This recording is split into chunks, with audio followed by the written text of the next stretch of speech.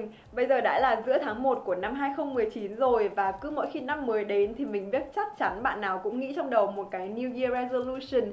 Hoặc còn gọi là, kiểu, mục tiêu cho năm mới mà mình muốn hoàn thành. Bản thân mình thì có rất là nhiều những cái mục tiêu, Nhưng mà trong năm nay một cái mà mình nhận thấy là mình rất muốn làm và mình có thể làm được, Đó chính là góp một phần nhỏ vào việc bảo vệ môi trường Bằng cách giảm lượng rác thải mà bản thân mình thải ra mỗi ngày. Nghe đến đây thì rất nhiều bạn nghĩ là bảo vệ môi trường thì có gì khó đâu, đúng không? Chỉ cần là không thải rác ra đường này chỉ cần là nhặt rác khi mà mình nhìn thấy này, hoặc là trồng cây xanh này để có một bầu không khí nó trong lành hơn. Nhưng mà thực sự là có rất nhiều cái hành động nó rất là nhỏ trong cuộc sống hàng ngày của chúng mình thôi.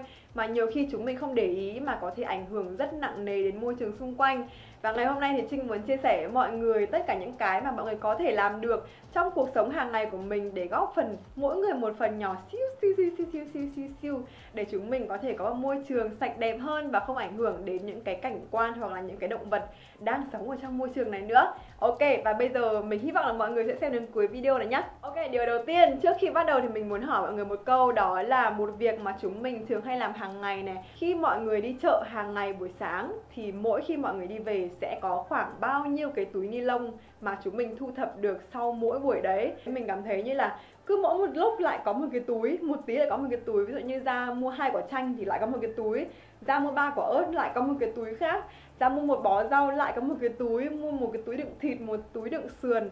Nói chung là sau một buổi đi chợ sẽ có rất là nhiều túi ni lông. Chắc chắn là mọi người đã nghe rất nhiều người nói là tránh việc dùng túi ni lông Bởi vì nó sẽ tốn rất là nhiều thời gian để có thể phân hủy được một cái túi ni lông đó. Nhưng mà mỗi ngày khi chúng mình đi chợ hoặc là đi shopping hoặc là đi siêu thị Thì lại mang rất là nhiều túi về nhà. Thế thì những cái túi đấy sau khi chúng mình dùng thì sẽ để đi đâu? Thì sẽ vứt ở thùng rác và sẽ mang ra bãi rác và không biết bao nhiêu năm nữa cái túi đấy mới có thể phân hủy. Thế nên là bằng những việc rất là nhỏ Việc đầu tiên đó chính là khi chúng mình đi chợ hoặc đi shopping Chúng mình có thể dùng những cái túi vải như thế này. Hoặc là mình nhìn thấy ở trên uh, những cái cửa hàng bán ấy người ta bán những cái túi vải mà dùng chuyên để đi chợ rất là đẹp.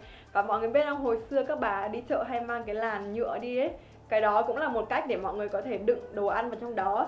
Ví dụ như sáng nay như trong video này mọi người nhìn thấy là có rất nhiều mọi người dùng túi ni lông ở khắp tất cả các ngóc ngách của cái chợ đó. Nhưng mà khi mà mình mang cái túi vải này ra và mình, kiểu, nói bằng được với cô ấy là không, cháu không muốn lấy túi ni lông, thì cô ấy rất là, kiểu, kiên quyết là không, cứ lấy đi.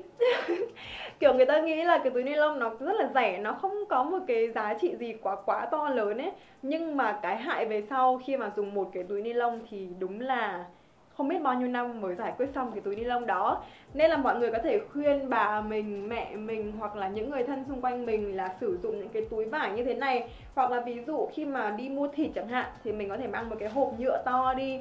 Mình mang ra đấy, mình nhờ người ta để thịt vào trong đó, sau đó mình mang về mình rửa. Và đến ngày hôm sau mình vẫn có thể dùng lại được, chứ không phải là dùng túi ni lông một lần sau đó bẩn rồi vứt đi. Như thế nó rất là lãng phí và rất có hại. Rồi, điều số 2 chúng mình sẽ lại bắt đầu với một câu hỏi nhá có bao nhiêu bạn đây đã sử dụng những cái dịch vụ mà để chuyển đồ ăn đến nhà mình? Ví dụ như là Delivery Now, hoặc là Go Việt, hoặc là Aha Move, tất cả những cái dịch vụ ship đồ, rồi ship quần áo, rồi ship đồ ăn, nhất là đồ ăn. Bạn nào đã từng dùng? Giơ tay. Cái việc đấy bây giờ là việc rất là bình thường, đúng không? Hàng ngày ngồi ở công ty hoặc là ngồi nhà chúng mình đều có thể order được chỉ bằng một chiếc điện thoại thôi. Thế nhưng mà mình sẽ cho mọi người xem một ví dụ nhé khi mọi người muốn ăn một bữa trưa chẳng hạn thì ví dụ đây là một uh, cái mà mình đã ăn rồi. Đây là một cái cốc nhựa để đựng súp. Khi mà người ta ship thì sẽ kèm với cả một dĩa nhựa và một cái thìa nhựa. Sau đó nếu mà mình order thêm một bát mì spaghetti thì sẽ đi kèm thêm một bát nhựa một cái nắp và một gói. Cái này cũng là túi ni lông đựng sốt. Được chưa? À, hoặc là nếu mọi người order trà sữa chân trâu sẽ đi kèm một cốc trà sữa một cái ống hút bằng nhựa và một chiếc túi ni lông. À hai cái kia khi mình order mỗi cái kèm theo một túi riêng có nghĩa là hai túi ni lông. Vậy là nếu mà mình order một bữa ăn thì mình khi mà ăn xong hết rồi mình sẽ còn lại là ba cái túi ni lông này một cốc nhựa một à hai cốc nhựa và một bát nhựa. Đấy là chỉ là một bữa ăn thôi nhá một mình mình ăn thôi thì đã là từng đấy rác khi mà mình ăn xong. Và tất cả những cái này mình sẽ dùng bao nhiêu lần? Một lần duy nhất, bởi vì ăn xong chúng mình sẽ vứt nó ngay vào thùng rác và không suy nghĩ gì cả. Bây giờ mọi người thử nghĩ xem nó có phải là rất là lãng phí không và rất là hại cho môi trường nữa. Vì cái này mình chỉ dùng một lần và mỗi khi mình ăn có thể là khoảng từ 20 đến 30 phút là mình đã ăn xong bữa ăn rồi. Nhưng mà những cái rác thải này cần bao nhiêu lâu để nó có thể xử lý được? Thì có rất nhiều bạn sẽ nói là, thế bây giờ làm như nào? Nếu mà bây giờ không đến chỗ đấy ăn thì mình phải làm như thế nào? Tất nhiên nếu mọi người có thể đến đấy và mua đồ ăn về thì mọi người có thể mang những cái hộp của nhà mình đến và sau đó mang về sẽ chắc chắn là cái này nếu mọi người làm được 10 điểm. Nhưng mà nếu bạn nào không làm được thì mọi người có thể chọn những cái cửa hàng mà người ta có những cái sản phẩm mà nó sẽ thân thiện hơn với môi trường. Ví dụ như là cái hộp salad này. Khi mà mình order thì cái hộp salad này ở trong này nó sẽ là bằng một cái hộp giấy. Hộp giấy này thì hoàn toàn có thể là phân hủy được. Đó. Và trong cái hộp giấy này khi mọi người mở cái ngăn ở dưới này ra ấy, thì nó sẽ đi kèm theo dĩa gỗ và thìa gỗ. Hai cái này cũng hoàn toàn thân thiện với môi trường. Mỗi tội là khi mà shipper mang đến ấy thì vẫn kèm theo một cái túi ni lông để đựng cái này. Thế nên là chúng mình không thể tránh được 100% cái việc sử dụng túi ni lông, mặc dù đã rất cố gắng rồi. Thế nhưng mà khi mà mọi người order thì mọi người có thể chọn những cái cửa hàng mà người ta có cái nhận thức tốt hơn về việc bảo vệ môi trường và người ta đã cố gắng làm những cái sản phẩm thân thiện với môi trường hơn như thế này. Còn nếu mọi người rất hay gọi đồ ăn ship ở ngoài và rất hay ngồi ở công ty và đợi người ta ship đến hoặc là đi học đợi người ta ship đồ đến để ăn, thì mọi người hãy chuẩn bị sẵn cho mình một cái kit như thế này. Cái này là một chiếc túi vải này và ở trong đó sẽ có một cái đũa một cái đũa, một đôi đũa và một cái thìa hoặc là thêm một cái dĩa gỗ nữa. Tất cả những cái này đều bằng gỗ. Thì mọi người có thể ăn xong và rửa đi và sẽ dùng lại. Vào ngày mai thì mình sẽ không phải dùng những cái dĩa hoặc những cái thìa mà chỉ dùng có một lần nữa. Rồi vừa nói đến chuyện ăn, bây giờ chúng mình sẽ nói đến chuyện uống.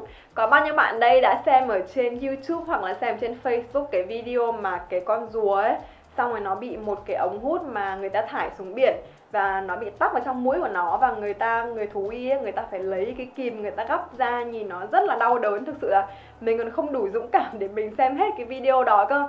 Nên là những cái ống hút mà chúng mình chỉ dùng trong một tiếng hoặc là trong cái thời gian mình ngồi hàng cà phê đó không biết là nó sẽ được thải đi đâu và không biết là nó sẽ mất bao nhiêu lâu để có thể phân hủy nữa. Nên là thay vào đó thì chúng mình khi mà đi uống cà phê này hoặc đi uống trà sữa này hoặc là kể cả uống ở nhà chúng mình cũng có thể dùng những cái ống hút mà có thể dùng nhiều lần được thay vì dùng những cái chỉ một lần thôi rất là lãng phí.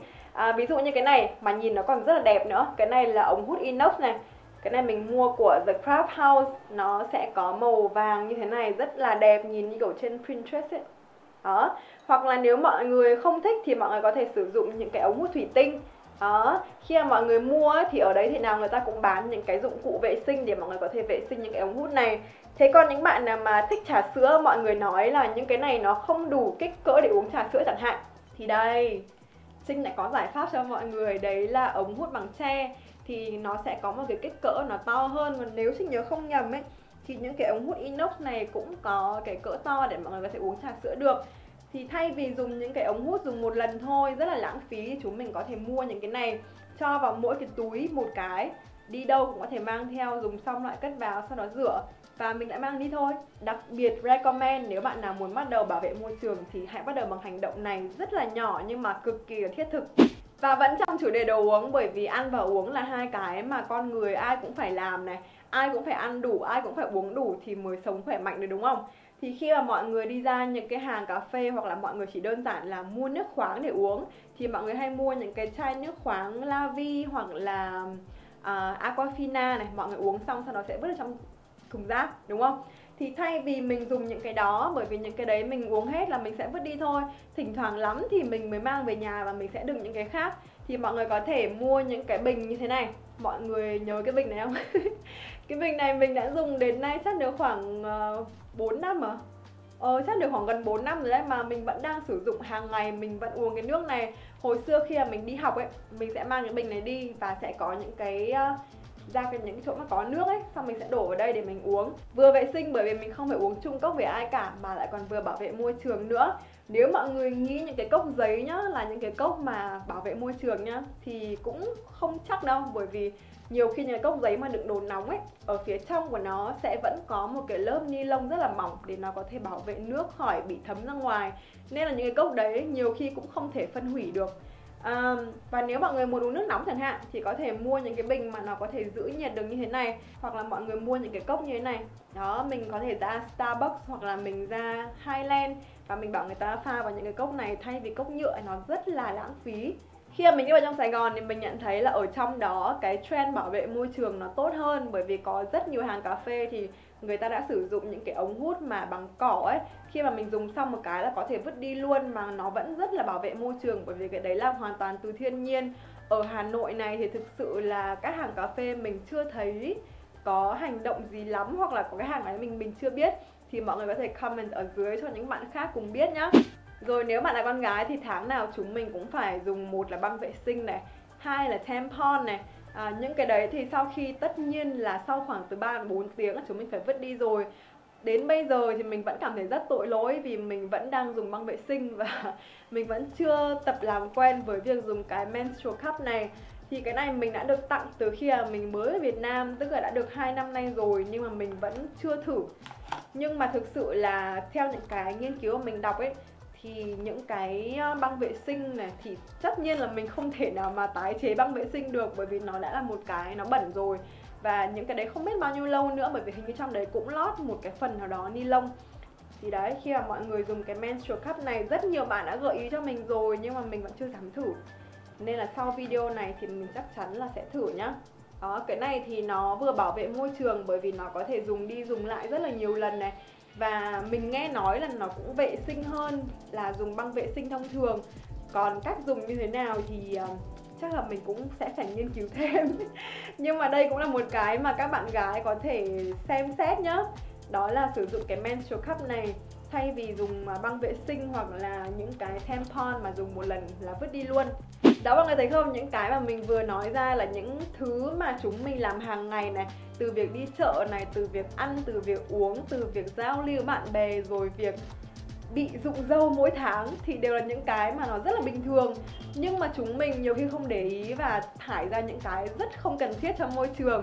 Nên là mình hy vọng là sau khi xem video này, mình không phải là người nói là bạn phải sống thế này, bạn phải thế này, bạn phải thế kia nhưng mà chúng mình cứ tự nguyện làm những cái mà chúng mình có thể. Và khi mà những người khác nhìn những hành động đó, thì rất có thể là người ta sẽ suy nghĩ là à có lẽ là cũng đã đến lúc mình phải bảo vệ môi trường hơn, hoặc là mình cũng nên mua một cái ống hút như vậy. Đấy, kiểu như thế. Nên là mình chỉ hy vọng là từ những hành động rất nhỏ và chúng mình có thể làm được một việc rất là to. Và cũng đừng quên subscribe channel này để có thể xem những video tiếp theo nhé xin chào và hẹn gặp lại!